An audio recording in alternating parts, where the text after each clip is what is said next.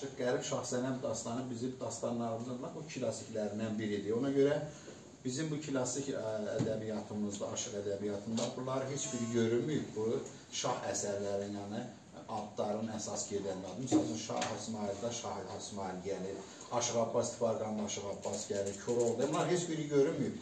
Amma onun əksin o ə, əhvalatla, o coğrafiya ilə o tarixinə baxanda onun üstə deyilə belə ola bilərmiş. Ona görə biz çox müzakirə elədik, cənab professor ki, qərbi neyniyək, bir neçə nəqqaşlar gördük, e, cənab doktor Seyid.